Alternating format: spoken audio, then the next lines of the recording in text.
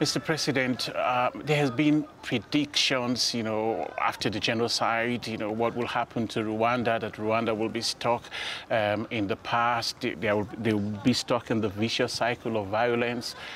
But here we are, 17 years on, this country clearly has moved forward. And I think what most people uh, would want to understand is why and how this country recover, you know, way better than other countries who are equally caught up in wars in the past. Yes, we have made uh, very good progress in the recovery, and it is true. There were those predictions. There were people who could see nothing better than uh, a failed state in Rwanda. Uh, well, unfortunately, even irrespective of the facts, some uh, people still have uh, negative views about our growth. Good progress has been made, and happily, it has been made because of the people of Rwanda, the people of my country, resilient people, are people who have learned a lot of lessons uh, from our history, from all that has happened that uh, tore this country apart. It was very tragic, um, as tragic as you can have it. And um, yes, um, the only way to go was forward we, we had sunk so low that it wouldn't have gone lower. Not at all. the only way is now to come up, and that's how we've managed together with the people of this country. Everybody understood this, that uh, after all, what tore apart this country originated from ourselves. It happened because of bad politics, because of bad leadership. If we changed that, we could have different results. So we had to start by encouraging our people to have confidence, to see themselves as people who can bring the change we need, even if we have to build on the support of others and there is the, we, we have received huge, huge support from others. But that is just really support. In the end, if the people of a country like ourselves don't you know, feel that it is our responsibility uh, to make the change we need, then it won't happen. It doesn't matter how much money or support or, you know, cheering that, you know, from outside, nothing will happen unless we take the lead and own the process and uh, do what is proper for us to, to make the progress we need. But you can't deny the fact that leadership has played a role. In fact, I interviewed one of your ministers. He said um, every ship needs a good captain. How did you become that good captain?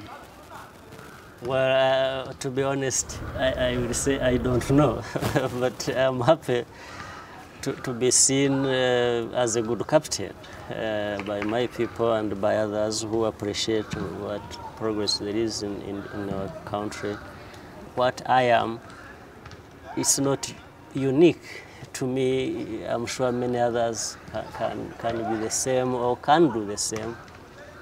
The point you are making is leadership is key. There is no disputing that. I would also say the same. In fact, leadership probably makes the whole big difference. I remember you actually talking to the boys just now. You did mention something about self discipline.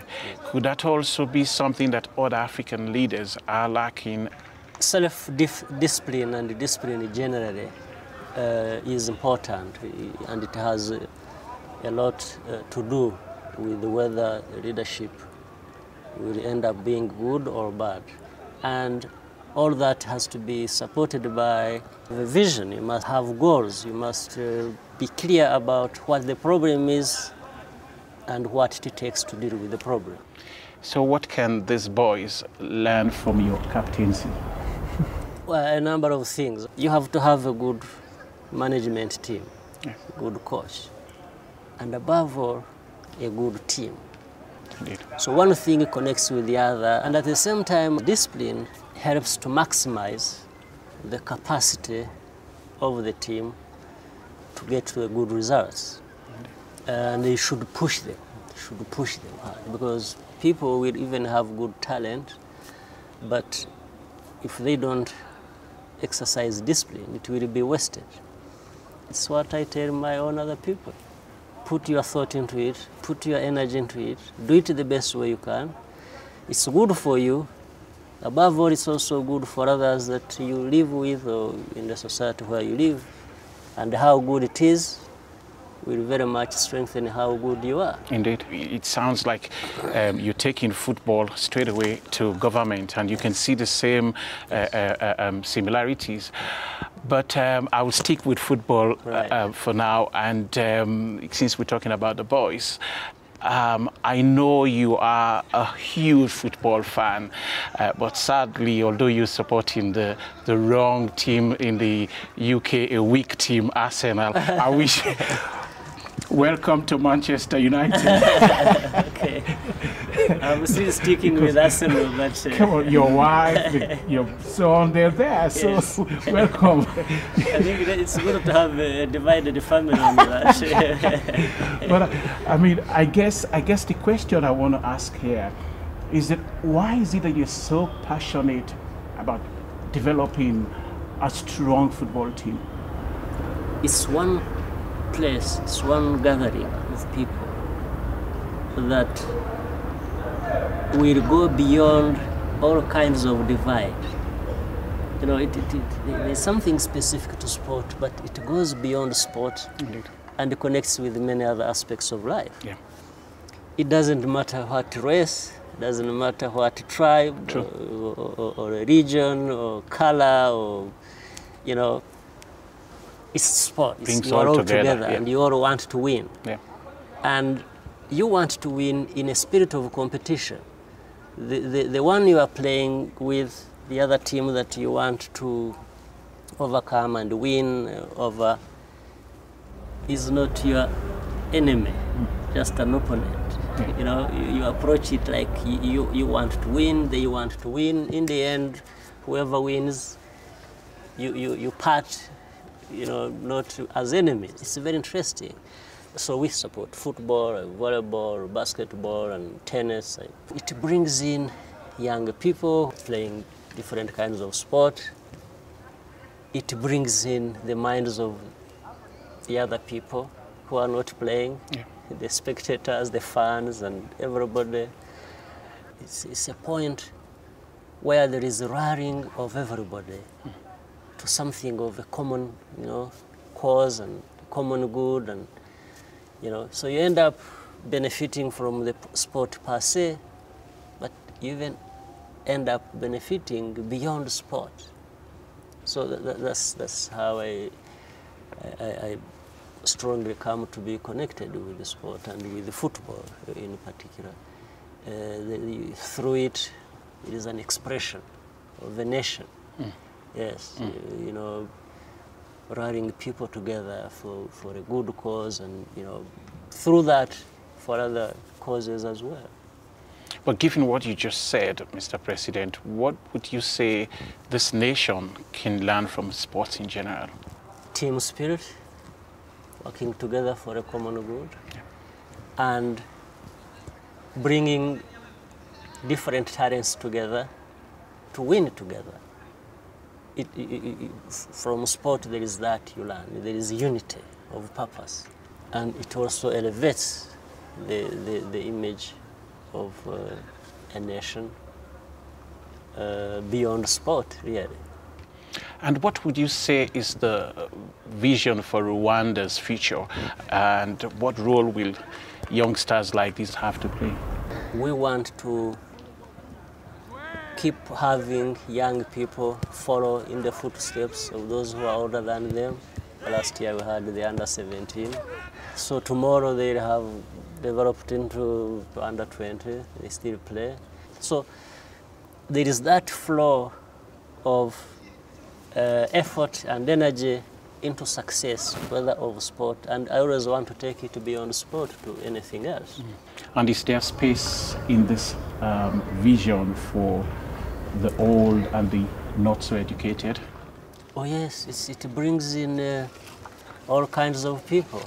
Yes, but we want to make sure that actually we reduce on the numbers of the uneducated. We are always uh, trying our best in the investments we make as a country to make sure that uh, everybody gets education and everybody is able to realize their talent in different ways and be able to achieve what they can achieve, uh, not for themselves, but also bring all of this together into what the country can achieve. Mr. President, as an African, I cannot sit here and tell you that I'm not worried about um, sustainability, about continuity, because this is one thing that I have seen in, in, in one of the people that I admire. You know, you are one, and Jerry Rawlings, um, when he was in, in control, is another one. But when Rawlings left, um, there has been a bit of um, problems here and there.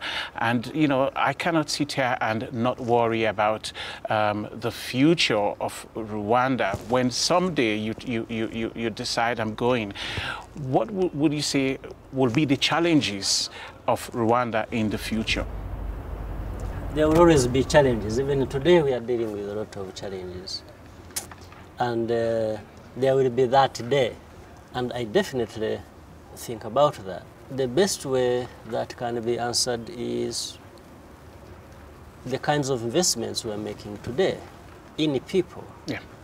In building institutions, strong institutions, in making sure that what we are investing in today and what we are doing today actually has increases the potential to produce as many people as could possibly carry on with what has been achieved. past. Absolutely. This is, this is the thinking, and the actions are already happening. But for sure, I, I cannot sit here and, and claim that I know nothing will go wrong, you know, there is so and so who will come and do this. And no, I generally believe that will happen. But I cannot point to how exactly it is going to happen with somebody else. Maybe it will happen better than it has been in my case. Or it will be worse.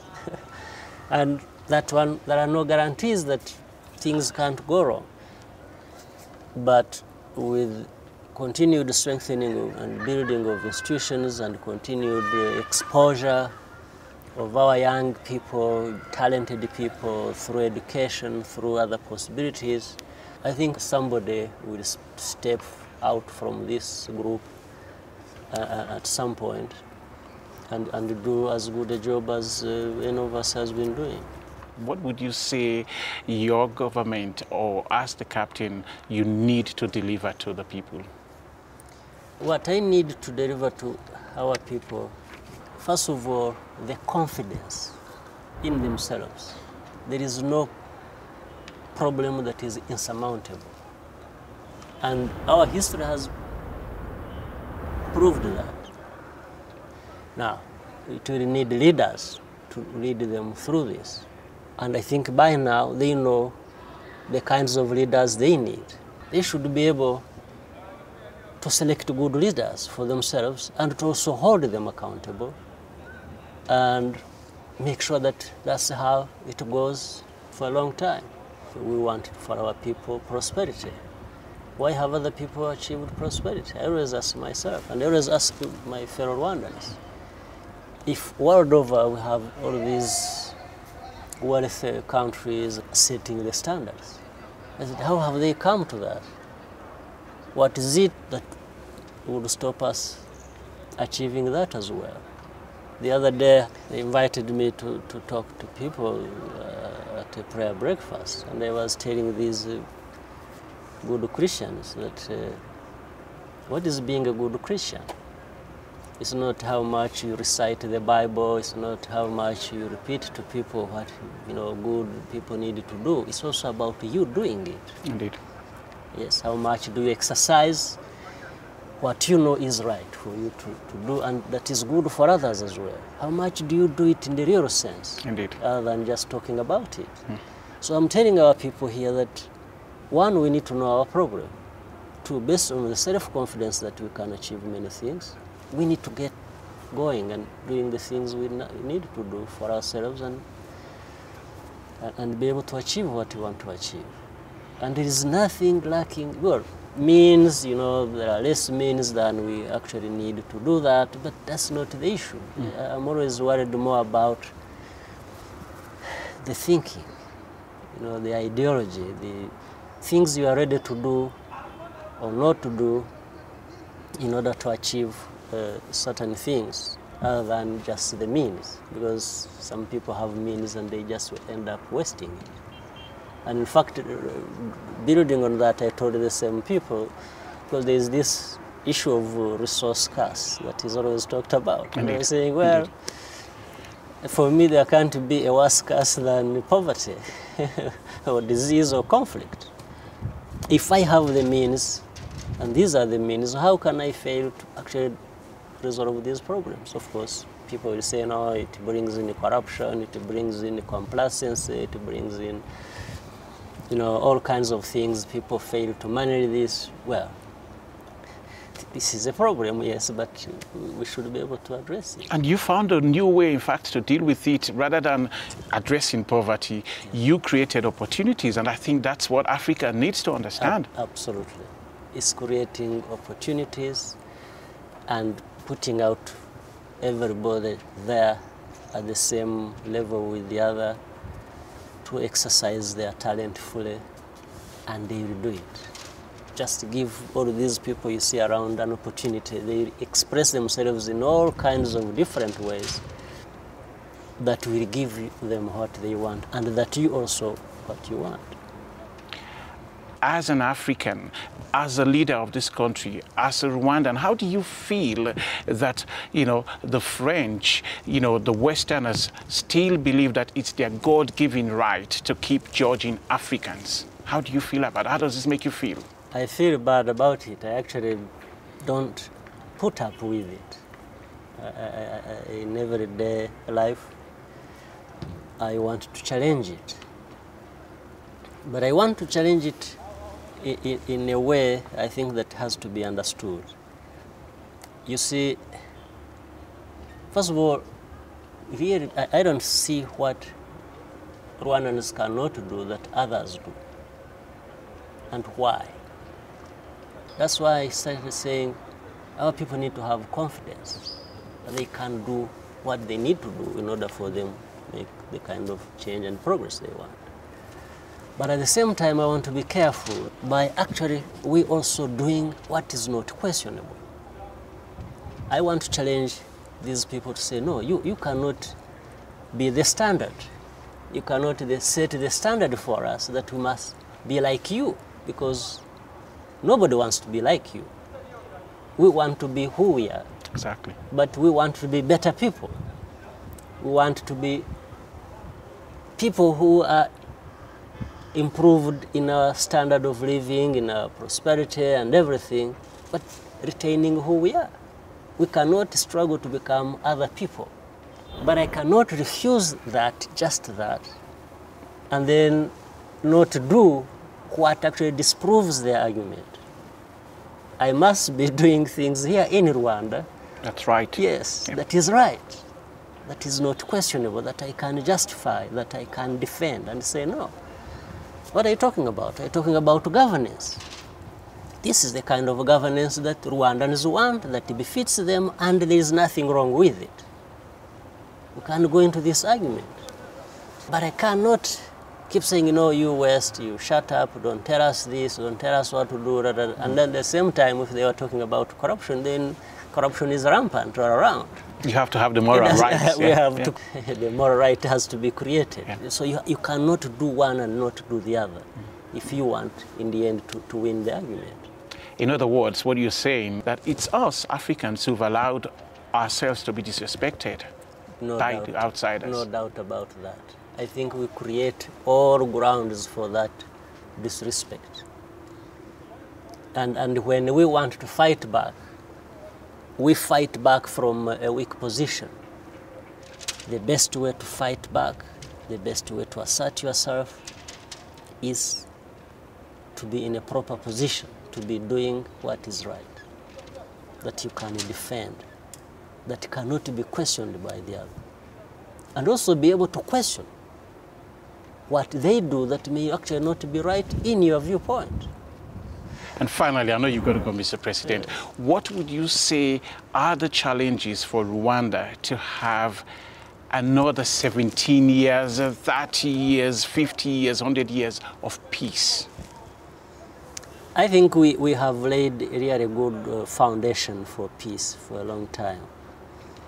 And uh, I, am saying this confidently on the basis that most Rwandans, if not all, have bought into this project of seeing long term, you know, what we need to achieve and how to defend and protect that.